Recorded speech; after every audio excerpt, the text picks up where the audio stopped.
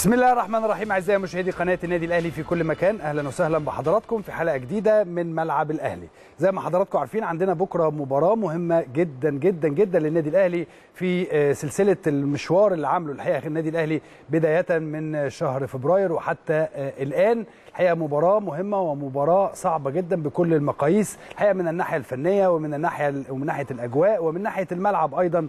وان هو مش طبعا مش ليس ليس ملعبا طبيعيا ولا ولكنه ترتان الحقيقة.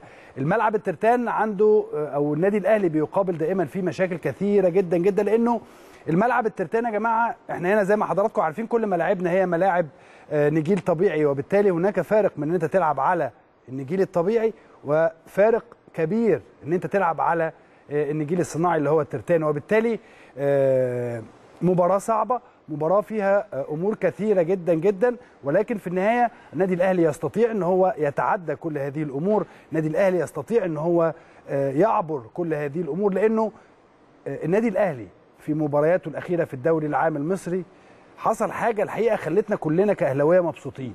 خلتنا كلنا كأهلاوية قاعدين واثقين من هذا الفريق ومن الجهاز الفني اللي متواجدين إذا كان هناك حصل حاجة خلال مباريات الدوري أو حتى المباريات الأفريقية الأخيرة إن المستوى نزل شوية ولكن المباريات الأخيرة تحديدا مباراة الجونة وبتروجيت في الدوري العام المصري النادي الأهلي رجع بشكل مختلف بقى شكله مختلف الناس كلها ابتدت بالفعل تقول إن ده النادي الأهلي ابتدت بالفعل تقول إن ده الجهاز الفني كيف يستطيع أن يفكر الجهاز الفني في إن هو يعمل تغييرات تغير من شكل المباراة بشكل كبير.